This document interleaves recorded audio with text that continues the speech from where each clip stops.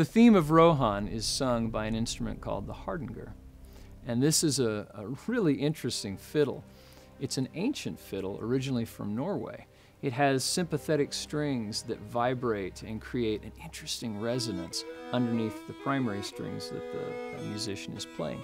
So we use that instrument to sing out the theme of Rohan. We also use some other instruments to color it. When you're um, in the shadow of the Argonath, French horns and trombones bring in the, the noble, powerful theme of the Gondorians. As Frodo is uh, wandering around and trying to decide, what am I going to do? Should I leave the fellowship because I'm getting all these guys into trouble and bringing them into danger? We hear the, the Irish flute and European whistles, which bring back to mind the, the serenity and the safety of the Shire.